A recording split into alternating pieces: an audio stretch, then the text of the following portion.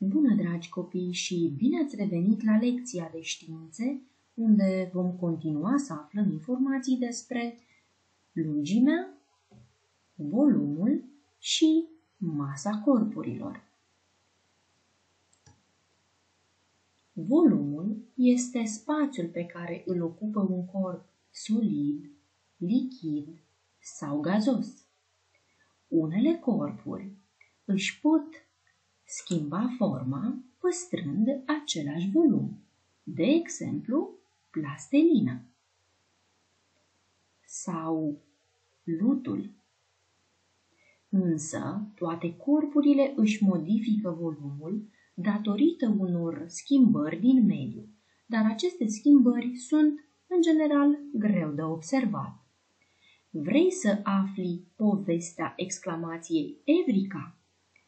În urmă cu mai mult de două milenii, un tărâmul îndepărtat al Siciliei, în Siracuza, un învățat al lumii antice, Arhimede, a avut de rezolvat o problemă specială. Hieron al doilea al Siracuzei dorea să ofere zeilor o coroană din aur, însă bănuia că un bijutier furase din aurul respectiv, înlocuindu-l cu argint.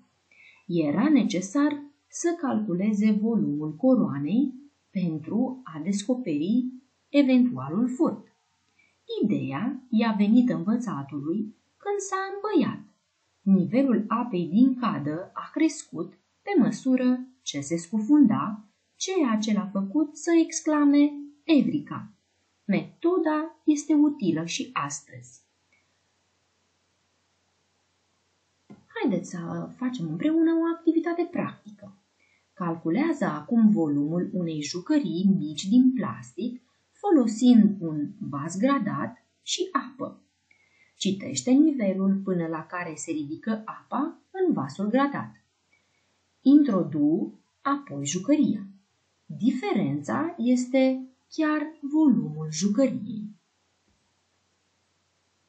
Haideți să învățăm acum împreună despre masa corpurilor. Cât cântărești sau câte kilograme ai? Este o altă întrebare la care cunoașteți răspunsul. Aceasta reprezintă masa. Masa se măsoară cu ajutorul cântarului sau cu ajutorul balanței. Unitatea internațională de măsură pentru masă fiind kilogramul. Haideți să-l ajutăm pe Mihai să își pregătească valiza pentru vacanță. Știind că va pleca cu avionul și valiza nu trebuie să depășească 12 kg, marchează în tabel sau scrie pe caiet ce poate lua cu el. Are de ales între haine, încălțăminte, laptop, cărți, jucării, obiecte de igienă, PlayStation, obiecte pentru piscină.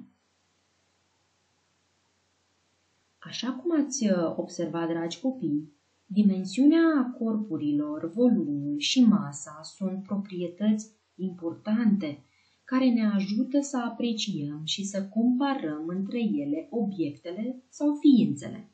Despre aceste proprietăți, dar și despre altele, veți mai auzi cu siguranță la disciplina științe. Pe curând, copii!